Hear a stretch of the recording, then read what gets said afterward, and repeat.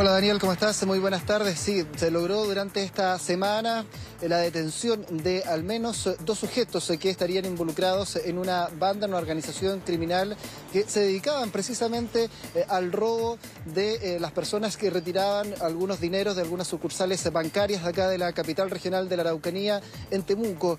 Eh, se están investigando varias aristas, por supuesto, en torno a los delitos a los que estarían asociados a estos sujetos, pero puntualmente se logró la detención de ellos por un caso puntual que ocurrió en la ciudad de Temuco hace un mes. Estamos hablando el 16 de marzo, cuando dos personas llegan hasta una sucursal en pleno centro de Temuco a retirar dineros, la suma de 21 millones de pesos. Son eh, marcados por estos sujetos seguidos hasta el lugar donde eh, ellos viajaban, en la localidad de Labranza, donde llegan hasta un terreno, estaban eh, en ese lugar cuando sienten que rompen uno de los vidrios de su vehículo, una camioneta que había sido alcanzada por estos sujetos que los habían seguido previamente, sustraen la mochila con el dinero que se encontraba en el interior y son las mismas víctimas que comienzan una persecución, los logran eh, alcanzar y también eh, recuperar parte del dinero, la suma de 700 mil pesos, según lo que ha informado Carabineros hasta este minuto una investigación previa durante un mes, un seguimiento a estas eh, personas y finalmente durante el día jueves de esta semana se logra la detención de estos sujetos por parte del personal especializado del OS9 de Carabineros en conjunto con el GOPE. Son allanadas eh, estas casas, estos domicilios, son detenidos y presentados finalmente eh, ante la justicia para realizar la posterior formalización. Vamos a, a escuchar, sí, primero el relato de la víctima, que es lo que le ocurre ese día cuando son seguidos por estos sujetos y posteriormente víctimas de este robo. Pasemos a revisar esas declaraciones. Eh, entramos a un terreno eh, y en ese terreno saltó un cerco, saltó el cerco una persona, rompió el vidrio de la camioneta y huyó con esta mochila con eh, el dinero.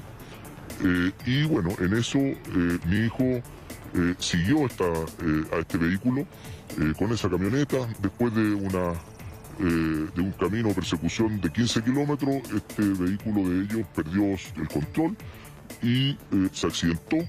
Ahí eh, hubo un enfrentamiento también y estas personas arrancaron igual con esta mochila con el dinero. Entiendo que a esta banda, o al menos los detenidos, les llamaban los marcadores y tenían un amplio prontuario policial, Diego.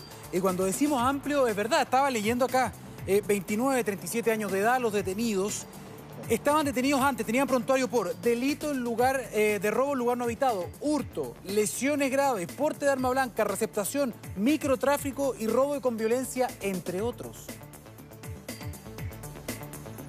Claro, por lo eh, mismo es un golpe bastante importante a esta banda, una investigación que sigue en curso. Mm. Hay una persona que todavía es buscada y que aparece en los registros de las cámaras de seguridad, algo muy importante que ustedes se la están viendo allí en imágenes, porque todo este hecho que yo les relataba quedó registrado tanto en las cámaras de la sucursal y también como en otras cámaras que logró obtener carabineros para poder lograr un seguimiento a estas eh, personas y lograr también establecer el modus operandi que ellas tenían.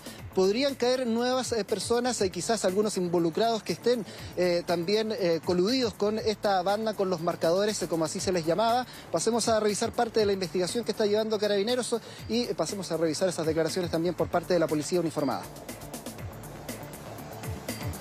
donde se logró la detención de dos sujetos que se dedicaban al robo lugar no habitado, específicamente bajo la modalidad de, de la marcación de personas que realizaban trámites eh, eh, financieros en las entidades bancarias. Estos sujetos lo seguían y posteriormente, ¿cierto?, eh, procedían a efectuar el robo del dinero que era retirado desde las entidades bancarias.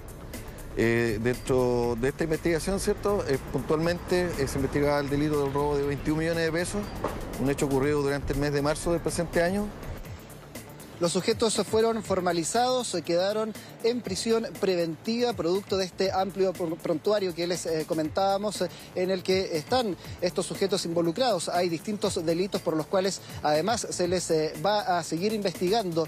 La unidad de análisis criminal de la eh, Fiscalía de la región de la Araucanía además está llevando otras investigaciones para saber si ellos están asociados a otros delitos que se están investigando acá en la región. También el llamado es a las personas que han sido víctimas de eh, estos delitos a denunciar obviamente a la Fiscalía para que se puedan agregar también a esta carpeta investigativa. Pasemos a escuchar lo que nos dijo esta unidad especializada del Ministerio Público acá en la Araucanía y que dice relación con personas que retiraron grandes sumas de dinero desde un banco y fueron seguidos o marcados por estas personas y posteriormente desde el interior del vehículo sustrajeron este dinero en la localidad de Labranza.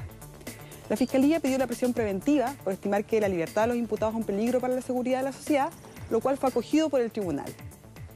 Además, se decretó un plazo de investigación de 90 días. La Fiscalía, a través de la Unidad de Análisis Criminal, está trabajando con el objeto de determinar si hay otras denuncias similares para de esa forma abordar el fenómeno criminal en su conjunto y determinar si estas personas participan en otros hechos o si se puede identificar otra banda criminal. O si también hay más involucrados. Entiendo que los vienen persiguiendo hace bastante tiempo, vienen investigando también a esta banda. Podría haber un tercer involucrado y, ¿por qué no, también más personas relacionadas con esto?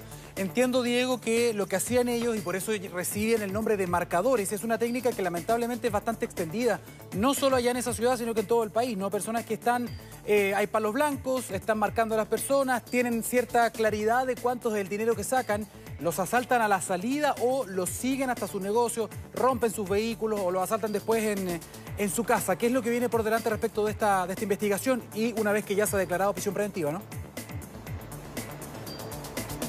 Primero la víctima nos decía que hay una preocupación precisamente por el modo superandis y la mutación de este delito desde la zona central hasta la eh, región de la Araucanía, hasta más al sur de nuestro país. Es un delito que no se veía muy comúnmente acá en Temuco específicamente, según lo mismo que también le comentaba la policía que está realizando estas investigaciones. Y por lo mismo hay preocupación por parte de las víctimas. Ellos nos, recalcaban eh, aquello. Por lo tanto, se está hablando de que este delito ha mutado y por lo mismo también el alcalde de Temuco, recordemos toda esta polémica que durante la semana donde él le pidió al eh, gobierno poder estar incluido dentro del plan Claye sin violencia que finalmente el gobierno accedió y lo incluye también, eh, a, incluye a la comuna de Temuco en este plan especial que ha anunciado el gobierno para combatir también la crisis de seguridad que se vive en nuestro país. La investigación sigue entonces, hay tres meses de plazo por parte de la Fiscalía para poder seguir investigando, dar con el paradero de un tercer sujeto que aparece también en las cámaras de seguridad y, ¿por qué no?, con otros que estarían involucrados también